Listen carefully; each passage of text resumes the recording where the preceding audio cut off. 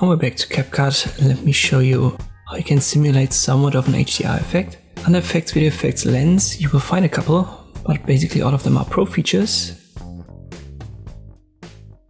You've got the HDR 4K, Smart Sharpen, and there's also HDR 1, 2, and I believe 3.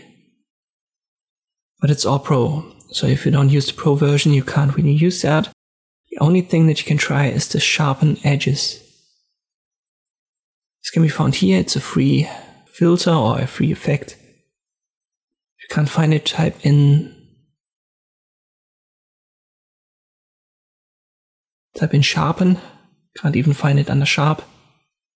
If you type in sharpen, it should pop up.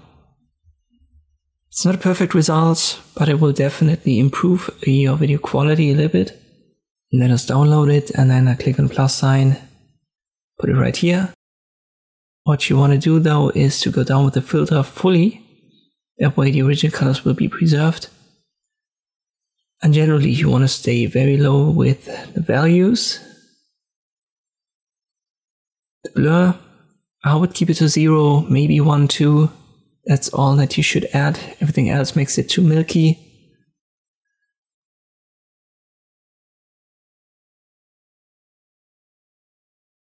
Once it's down, you can go up with the range again, but keep the filter to zero.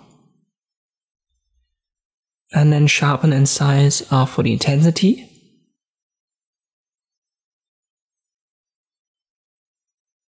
I think these values are somewhat fine. And here you can see the direct comparison between the original and with our filter. So this definitely brings back some edges and gives us an illusion of a 4K effect as I said, it's not perfect. If you have the Pro feature, then check out the inbuilt Pro effects here, 4K HDR, for example, on the lens. I hope this video was helpful, thank you for watching, and I'll see you next time.